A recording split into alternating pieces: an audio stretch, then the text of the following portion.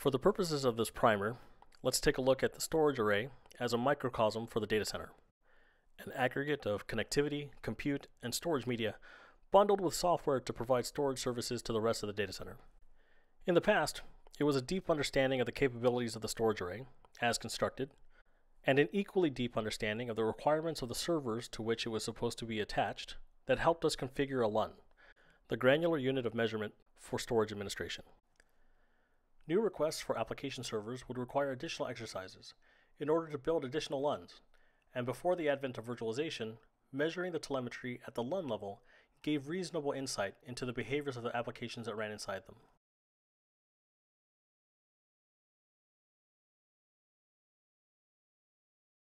This one-to-one relationship changed as virtualization took hold and became the de facto method for deploying applications in the data center. Bare metal application servers were replaced with virtualization hosts, and virtual machines were nested inside them. LUNs were now data stores, no longer mounted one to one, but now one to many, adding additional complexity to the connectivity between the storage array and the virtualization host that they were mounted to. Further complicating the matter was the fact that those LUNs no longer represented the appropriate granular unit of management. LUNs as data stores now housed files, the primary construct for virtual machines to write their data. Making matters even worse, while the hypervisor understands a virtual machine construct, the storage array is completely unaware, unable to track changes, unable to determine why things that worked yesterday don't work today. Operational actions like deploying new virtual machines into an existing data store or migrating a virtual machine from one data store to another at times resulted in frustration and at others could be potentially disastrous. Organizations struggling with this lack of visibility resort to a slew of monitoring, management, and automation tools to try to bring this growing complexity under control. But the problem only worsens as the environment scales, resulting in a majority of operational cycles being wasted on a number of administrative actions and leaving very little time for innovation or other value add initiatives. This paradigm of siloed staff, finger pointing, and wasted cycles is simply not conducive to meeting the needs of an organization in the midst of a digital transformation. With our focus on resolving the issues created by repurposing LUNs to support virtual machines and compounded by the breadth and scale of virtualization in the modern enterprise, VMstore is built on a foundation of commodity hardware.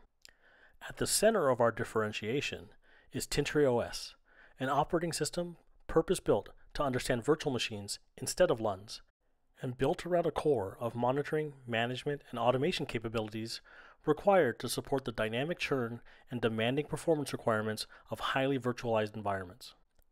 We deliver the VMstore solution as an easy to deploy appliance from box to production in 30 minutes without any professional services. VMstore is consumed as a single large data store without any LUNs or volumes to configure. VMstore then continuously polls the hypervisor manager to gain contextual awareness of the files that are stored on its file system. It is this contextual awareness that allows VMstore to take storage array level actions at VM level granularity, including snapshots, replication, as well as virtual disk level data synchronization. VMstore is also continuously modeling the workload characteristics of every individual virtual machine, including block size, read-write ratio, IOPS, and other critical telemetry.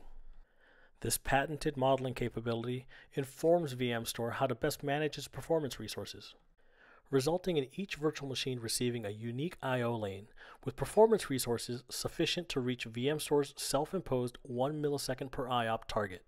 We call this feature AutoQoS, and it empowers organizations to deploy any application within a virtual machine, comforted by the fact that VMstore will automatically isolate that workload and self-optimize to meet the performance requirements of the VM in real time. But as anyone experienced in the realm of virtual machine storage performance knows, Virtual machine storage latency can have many contributors. That's why VMstore's operating system also includes a powerful VM level latency visualizer built on the foundation of its self optimizing capabilities.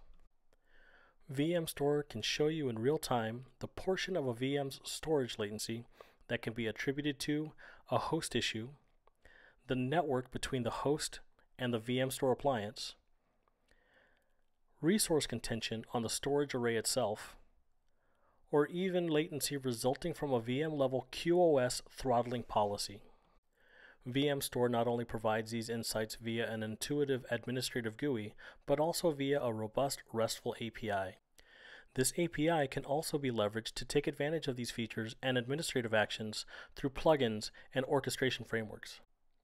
The data that is generated and recorded from the autonomous optimization of the VM store in response to various virtual machine behaviors does not simply live and die within the appliance.